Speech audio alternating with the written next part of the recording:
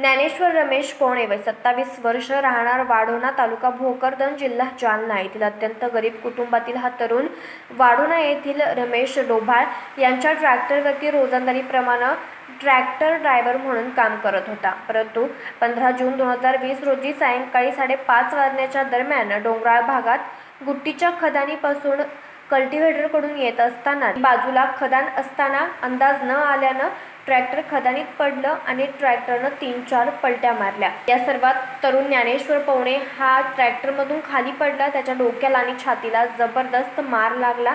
त्याचा हातही फ्रॅक्चर झाला आणि मार लागल्यानं तो जागेवरच मृत्यू पावला. असून या संदर्भात पारत पोलीस ठाण्याचे सहाय्यक पोलीस निरीक्षक शंकरजी शिंदे यांच्या मार्गदर्शनाखाली पोलीस उपनिरीक्षक प्रदीप उबाळे आणि बीट जमादार प्रदीप सरडे जीवन भालके आधी पोलीस कर्मचारी यांनी घटनास्थळी जाऊन तातडीनं पंचनामा केलाय.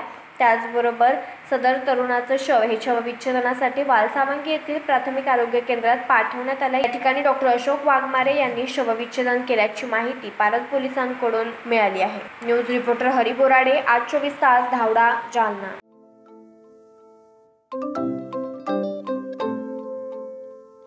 नवनवीन आणि ताज्या घडामोडींसाठी आज चोवीस तास सबस्क्राईब करा.